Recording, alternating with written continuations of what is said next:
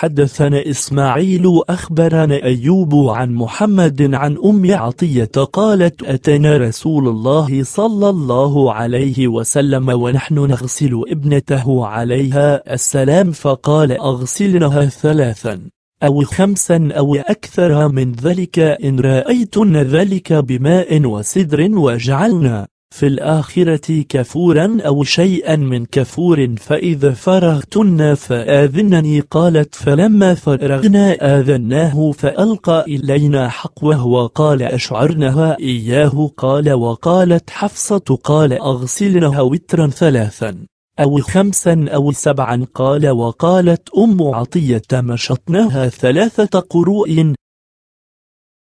حدثنا محمد بن جعفر أخبرنا هشام عن حفصة عن أم عطية قالت كان فيما أخذ رسول الله صلى الله عليه وسلم علينا عند البيعة أن لا تنحن فما وفت منا غير خمس نسوة. حدثنا محمد بن جعفر حدثنا هشام عن حفصة عن أم عطية قالت غزوت. مع رسول الله صلى الله عليه وسلم سبع غزوات أخلفهم في رحالهم وأصنع لهم الطعام وأقوم على مرضاهم وأداوي جرحاهم.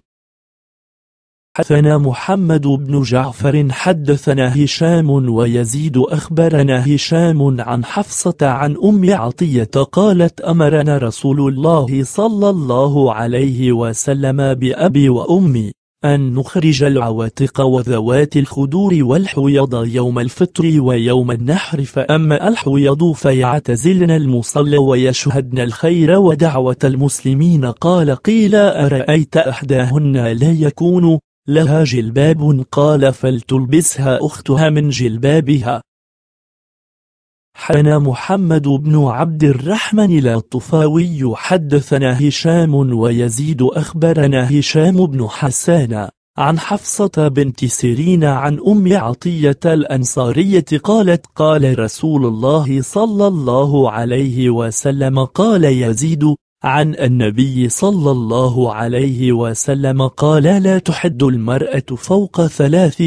إلا على زوج فإنها تحد عليه أربعة أشهر وعشرا ولا تلبس ثوبا مصبوغا إلا عصبا ولا تكتحل ولا تمس طبا إلا عند طهرها. قال يزيد أو في طهرها فإذا طهرت من حيضها نبذة من قسط وأظفار.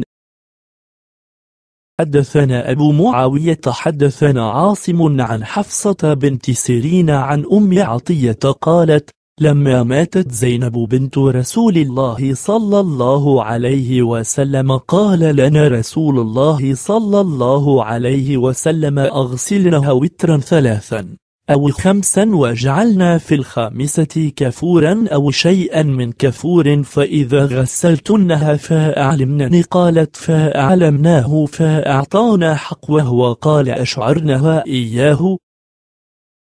حدثنا أبو معاوية حدثنا عاصم عن حفصة عن أم عطية قالت لما نزلت هذه الآية يبايعنك على أن لا يشركنا بالله شيئا إلى قوله ولا يعصينك في معروف قالت كان منه النياحة فقلت يا رسول الله إلا آل فلاء فإنهم قد كانوا أسعدوني في الجاهلية فلا بد لي من أن أسعدهم قالت فقال رسول الله صلى الله عليه وسلم إلا آل فلاء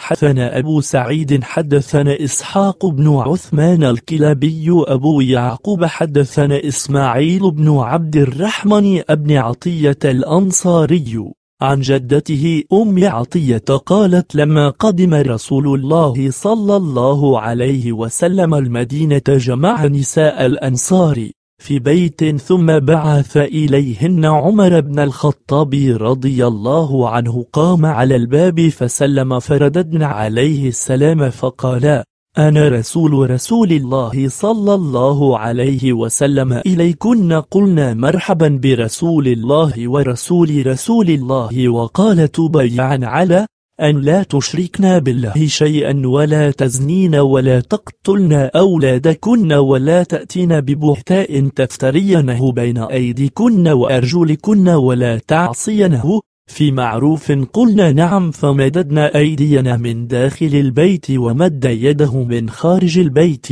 البيت ثم قال اللهم اشهد وأمرنا بالعيدين أن نخرج العتق والحيض ونهى عن اتباع الجنائز ولا جمعة علينا وسألتها عن قوله ولا يعصينك في معروف قالت نهينا عن النياحة. حنا غسان بن الربيع حدثنا أبو زيد ثابت بن يزيد عن هشامين عن حفصة عن أم عطية قالت كنت في من بايع النبي صلى الله عليه وسلم فكان فيما أخذ علينا أن لا ننوح ولا نحدث من الرجال إلا محرما حدثنا حسين بن محمد حدثنا جرير يعني ابن حازمين عن محمد عن أم عطية الأنصارية قالت كان رسول الله صلى الله عليه وسلم يأمرنا أن نخرج العواتق والحيض وذوات الخدور فأما الحيض فيعتزلن المصلى ويشهدن الخير والدعوة مع المسلمين.